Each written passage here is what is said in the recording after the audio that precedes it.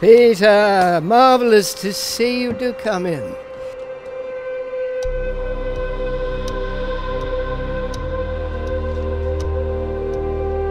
First rate piece of work, Peter. First rate. Peter, please, please listen to me. You know where you are now. All right, so what do we know? You do not know anything. We will die here. Wha whatever this is, people are going to want to hear about it.